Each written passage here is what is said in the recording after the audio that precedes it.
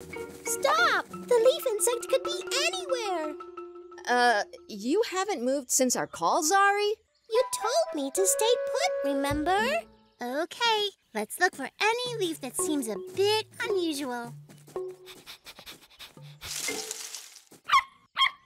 Hero, you found it! Don't move, Hero. Yay! It's safe now! Oh wind! Jetpack activate!